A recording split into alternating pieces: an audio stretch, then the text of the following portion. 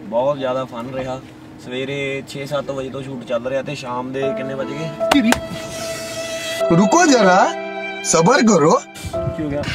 ਮੋਟਾ